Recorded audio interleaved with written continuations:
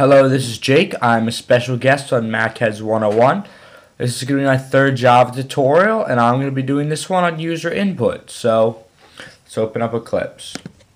Alright, so, in the last tutorial, we made variables like int i equals 10. And in the program, I assigned it a value of 10. Now, what we're going to be doing here is we're going to be assigning variables the value of whatever the user is going to input.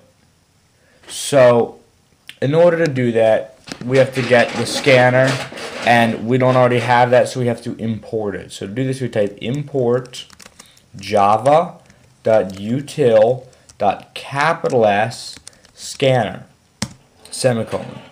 And if I wanted everything from util, I would just do dot asterisk but I don't need everything since I'm only going to be using the scanner from it, so scanner.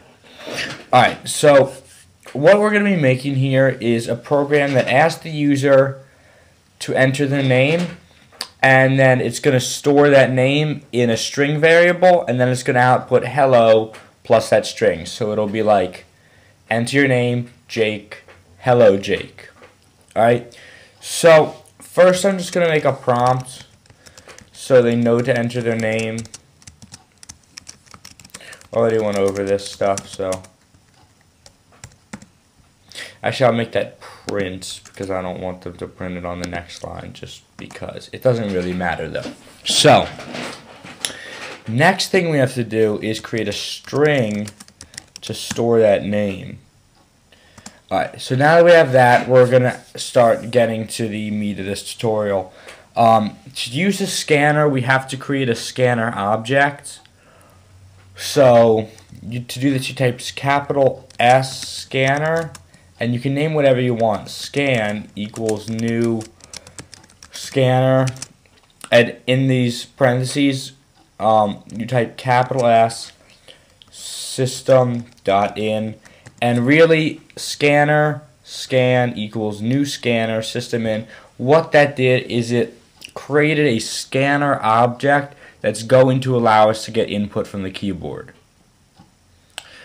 Um, so yeah. And that's probably going to be confusing right now, but you'll understand it eventually.